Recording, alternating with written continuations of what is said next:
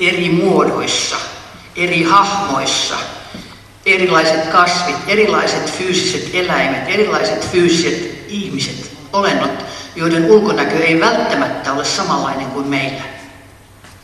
Me hyväksymme viisi sormia ja hiukset ja hampaat, mutta me emme hyväksy olentoja, jotka ovat totaalisesti erilaisia. Meidän mielestämme he voivat näyttää eläimiltä. Ja kuitenkin heidän kapasiteettinsa ja älyllinen intellektuaalisuutensa on huimasti meitä edellä. Ja sehän voidaan todistaakin. Hehän voivat tulla tänne koska tahansa, mutta me yleisesti ottaen emme voi paljoakaan matkustaa monilla planeetoilla, paitsi ruumista poistuneena. Ja ruumista poistumisilmiöistä ensimmäisenä ja kuolemanrajakokemuksesta kirjoitti psykiatri Raymond Moody vuonna 1975 eh, Life After Life, eli Elämä elämän jälkeen kirjan, joka herätti paljon huomiota ja tulen hänen kanssaan luennoinut Amerikassa monta kertaa, mutta hän ei kirjoittanut silloin mitään lääketieteelliseen julkaisuun. Ja niinpä vuonna 1983 minä kirjoitin ilmeisesti maailman ensimmäisen artikkelin ruumista poistumisilmiöistä ja kuolemarajakokemuksista suomalaiseen lääketieteelliseen julkaisuun Duodenkimiin.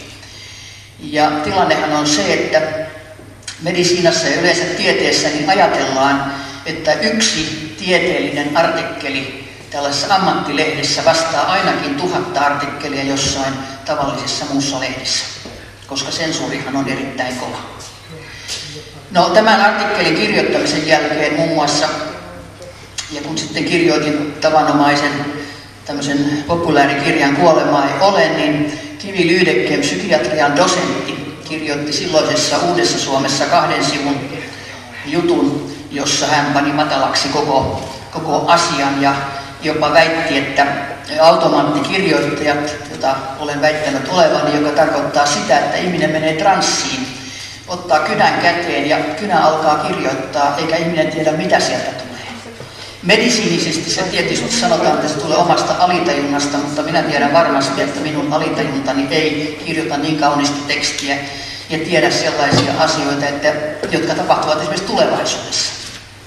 Eli olen ehdottomasti sitä mieltä, että automaattikirjoitus tulee jostakin muualta kuin ihmisestä itsestään.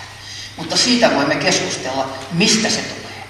Kivilyydekkeen ilmoitti, että 80 prosenttia rumista poistujat ja automaattikirjoittajat ovat psykiatrisia potilaita. 100 prosenttinen väärä ilmoitus. Ja sen jälkeen hän, hän pani oikein negatiivisia asioita ihmisille, jotka ovat kokeneet niin sanottuja paranormaaleita ilmiöitä. Ilmeisesti tämän takia psykiatrian professori Kalle Akte, Helsingin psykiatrian professori, joka silloin oli, nyt hän on eläkkeellä, ja oli myöskin Euroopan psykiatriyhdistyksen puheenjohtaja, niin hän oli toista mieltä dosenttinsa kanssa ja pistikin yhtäkkiä psykiatrian erikoislääkäritenttiin kysymyksen kuudentena kysymyksenä ruumista poistumisilmiöt, koska dosentti Lydecken oli sanonut, että näistä asioista voi puhua vain rantakalalla ja, ja iltanuotiolla. Siis psykiatrian erikoislääkäritentti ei ollut rantakalaa eikä iltanuotiota. Hänet pantiin ojennukseen, mikä on aivan oikein.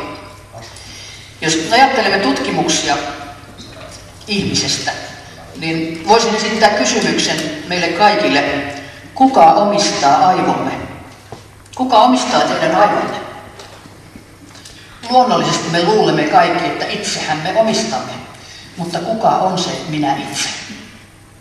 Edelleen tämä tajunta, tietoisuus, psyykke, valoruumis, joka on fyysisen ruumiin kopio.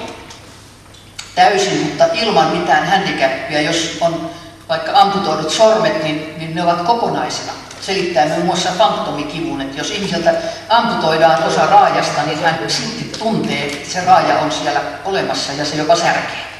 Siis se valoruumis on siellä, se tunne on siinä valoruumissa, eikä siinä fyysisessä.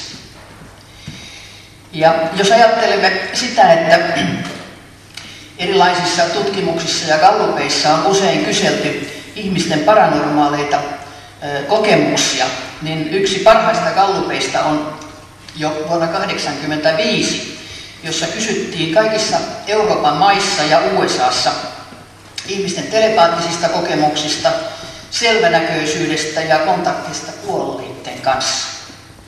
Kontakti kuolleisiin luonnollisesti ei ole kuolleen ruumiiseen, vaan valoruumiiseen. Eli kun ihminen kuolee, niin vain hänen ruumiinsa kuolee, vain keho kuolee. Eli auto krassaa ja aja lähtee ulos. Ajaja lähtee ulos, eli meidän valoruumiimme jatkaa toisella dimensiolla. Aivan samoin kuin jos me katsomme TV1 ja sitten me painamme nappia ja tuleekin sitten Sky Channel. Mutta niillä, joilla ei ole Sky Channelin antennia, tai niillä, joilla ei ole koko nappia, eivätkä paina itse, niin nehän eivät näe. Ne sanovat, että ei ole olemassa mitään. Ja tämähän on aivan väärin, jos itse ei pysty vastaanottamaan värähtelytasoa, niin ei se tarkoita sitä, ettei sitä ole olemassa, vaan oma antenni lainausmerkeissä on vähän, sanoisinko, vajavainen.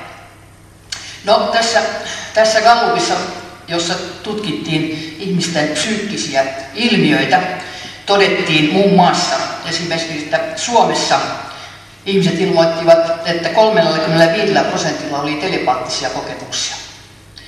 Sitten 15 prosenttia suomalaisista ilmoitti, että heillä oli selvänäköisyyttä. Ja 15 prosenttia ilmoitti omaavansa kontaktia kuolleisiin. Siis kuolleen energiaan tietysti, joka oli toisella värähtelytasolla. Amerikkaan verrattuna niin eurooppalaisten arvot ovat pienempiä. Totaalisuus esimerkiksi telepatiasta koko Euroopassa oli 32 prosenttia, selvänäköisyyttä oli 20 prosenttia ja 23 prosenttia eurooppalaisista väittivät olleensa kontaktissa kuolleisiin. USAssa luvut olivat kovempia, korkeampia. 58 prosenttia amerikkalaisista ilmoitti, että he ovat heillä on telepaattisia kokemuksia, siis yli puolet asujaimistosta. 24 prosenttia ilmoitti omaavansa selvänäköisyyttä ja 27 prosenttia sanoi olevansa kontaktissa kuolleisiin. Siis nämä on valtavat luvut, kun ajatellaan kuinka monta, monta sataa miljoonaa maapallolla yleensäkään on.